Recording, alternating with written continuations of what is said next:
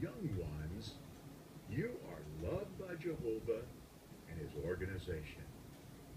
Young ones, you are loved by Jehovah and his organization.